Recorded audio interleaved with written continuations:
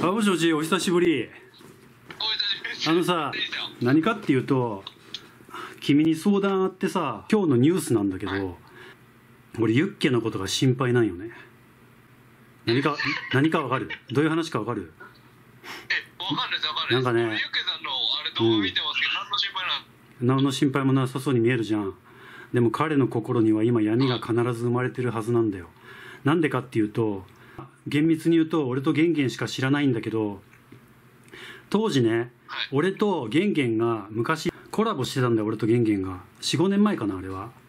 代々木公園で俺とゲンゲンがストリートバスケごっこしてたんだけどまあ俺とゲンゲンマブダチだったからさ45年前ちょっと遊んでたんだバスケして。でそこにさなんか気持ち悪いオタクが遠くでとぼとぼ歩いてたのね。でそいつに暇だったから「おいワンワンしようぜ」って声かけたらまあそれが結局ユッケだったんだよ。当時当時ユッケってマジでオタクだったんだよ。でワンワン俺が挑んだらそれをきっかけにめっちゃバスケ上手くなってでちなみに最初から俺をボコボコボコにしやがってめっちゃうまかったんだよ。あんまりあるだからバスケの才能最初からあってやっぱ人って不平等だよね。うまいやつはうまいんだよ。でボコボコにされたんだけどそれをきっかけにユッケはバスケ始めたんだ。でその当時ねユッケの推しがユッケ当時鉢巻きつけてたんだけどその鉢巻きに15号ナオリンって書いてあったのよ。でそれって何を言いたいかっていうと今日のニュースで今ね最近大ブレイク中のまあ当時からちょっと有名ではあったんだけど CM に引っ張りだこのね知ってるか分かんないけどバラエティ系アイドルの朝日奈央さんが結婚を発表したのよ。で朝日奈央さんってそれつまり元アイドリング15号のナオリンなのよ。だユッケの推しが当時ユッケの大好きだった朝日奈央が今日一般人男性と結婚したっていうニュースが出たの。なる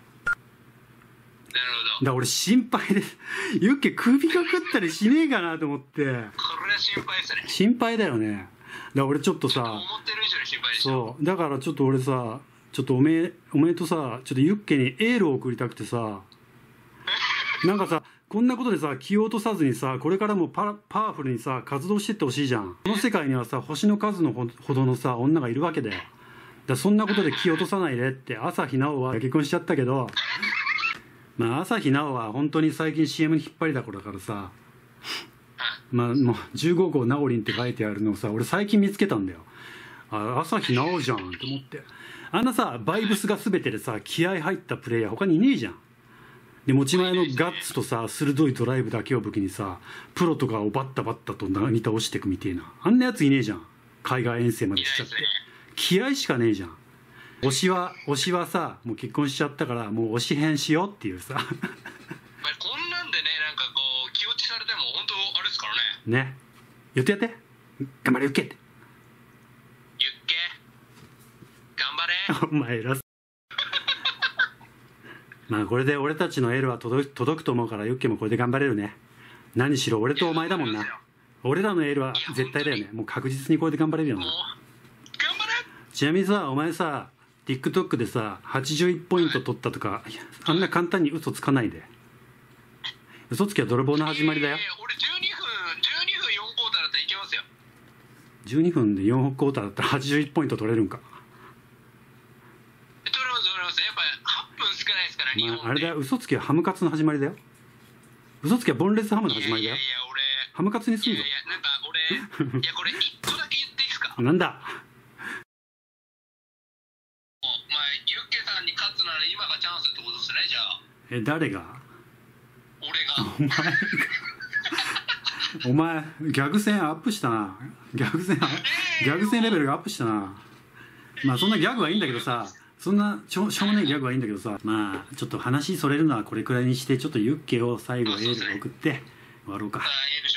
じゃあちょっと最後俺は俺から言うよ。最後に締めでタリバーが言ってね。面白かし面白くかっこよくユッケが絶対元気出るエールを最後に締めで言ってね。俺から言うから俺はシンプルにオッケーユッケやればできる。ちょ俺滑ったからとりあえずしあのもうプロであるタリバーがちゃんと締めてね。はい。せーの。はいどうぞ。まあまあまあ。やっぱりユッケはねソウルソウルバスケットプレーヤーなんでやっぱりね胸響かしてこれからも頑張ってください。会いたかった会いたかった。